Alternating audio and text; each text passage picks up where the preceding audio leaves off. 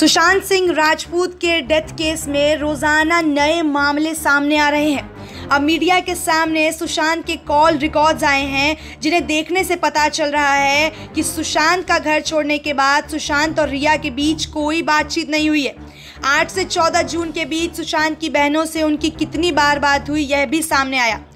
राजपूत के पिता के वकील विकास सिंह अपने कई इंटरव्यूज़ में कह चुके हैं कि सुशांत के घर से जाने के बाद रिया ने उनको ब्लॉक कर दिया था।